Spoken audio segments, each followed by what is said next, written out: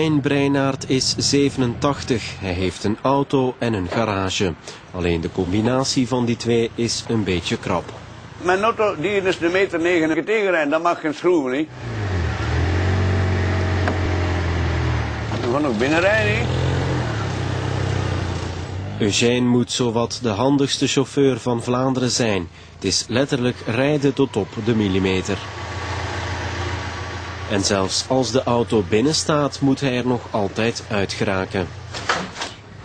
Voilà, ik doe ik mijn deurken open, zie. En dan moet ik mijn deurken van mijn not open doen, want anders kan ik niet meer stappen niet. Voilà, en zie dat ik een blusje maak. Auto kan stilleggen, uitstappen, de wagen vooruit duwen, dat de deur van de auto toe kan, hè. Want anders kan ik de deur van de keuken niet toe doen. Voilà, de deur van is toe, nou deze deur kan toe doen. En de zeteltjes daarvoor zitten.